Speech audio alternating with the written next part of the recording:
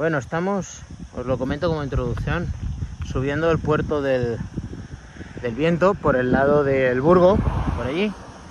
Eh, a diferencia del otro lado, estamos a mitad, más o menos, este es el puerto de los ladrones, porque ahora hay dos kilómetros de bajada, más los cuatro finales abiertos. El sol es de amanecer, comentar que de, de estos 7 200 iniciales, los tres primeros son descubiertos con olivos y luego hay montaña con pinos cerrada porque el sol nos da de mañana y nos da la sombra hasta este trozo.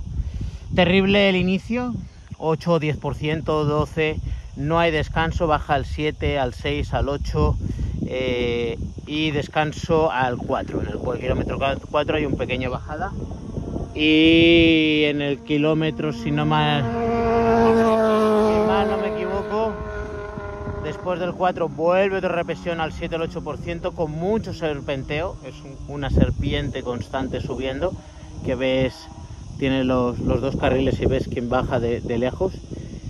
Y luego hay otro descanso creo en el 5.20, pero vuelve a subir el último trozo hasta aquí. Estamos todo el rato al 6, 7, algún trocito al 8 9%. Y luego llegamos aquí y a partir de aquí hay dos kilómetros de bajada, bajada intensa y luego el descubierto por el otro lado de la montaña eh, tenemos cuatro cuatro que ya veremos comentaré al final pero son cuatro los he bajado cuatro al, al 6 al 7 al 8% el último un tramo muy duro también. Y ya lo comentaremos ahora cuando lleguemos